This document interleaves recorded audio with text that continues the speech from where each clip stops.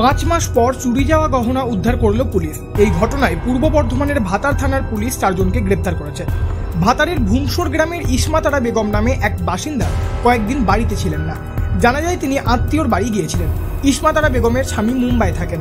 ওই সুযোগে গত সতেরোই অক্টোবর ইসমাতারা বেগমের বাড়ির আলমারি ভেঙে ন ভরি সোনার গহনা চুরি হয়। ভাতার থানার পুলিশ অভিযোগের পরিপ্রেক্ষিতে তদন্তে নেমে। ওই সময়ে ইসমাতারা বেগমের পাশের বাড়িতে বাড়ি তৈরির কাজ হচ্ছিল। পুলিশ প্রাথমিকভাবে রাজমিস্ত্রিদের সন্দেহের তালিকায় রাখে এবং তাদের গতিবিধি লক্ষ্য করতে শুরু করে।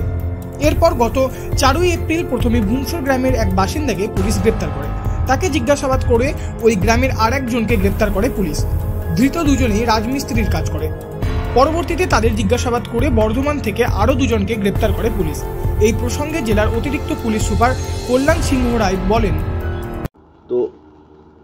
এই অক্টোবর মাসের সতেরো আঠেরো তারিখের মাঝের রাতে একটা চুরির ঘটনা ঘটে। ওনার বাড়ির দরজার লক ভেঙে ন ভরি সোনা যেটা আলমারিতে রাখা ছিল, সেটা চুরি হয়। চার তারিখে চার তারিখে আমরা একজন অ্যাকিউজডকে ফাইনালি অ্যারেস্ট করি।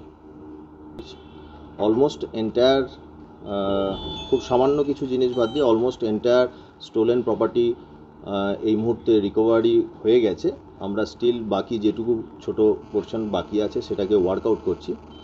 এর মধ্যে দুজন রিসিভারকেও আমরা অ্যারেস্ট করেছি। যারা বেসিক্যালি বর্ধমানে তাদের জুয়েলারি শপ আছে। আমি তদন্তের স্বার্থে তাদের নাম এক্ষুনি ডিসক্লোজ করছি না কিছু। কিন্তু এর মধ্যে দুজন আছেন ভাতারের বাসিন্দা এবং বাকি দুজন রিসিভার আছেন। আটাত্তর গ্রাম সোনা ও দুটি হীরের টুকরো পুলিশ উদ্ধার করেছে। গত শনিবার বর্ধমান জেলা আদালতে পাঠানো হয় অভিযুক্তদের। পূর্ব বর্ধমান থেকে Banwarilal Chowdhury, news eighteen local.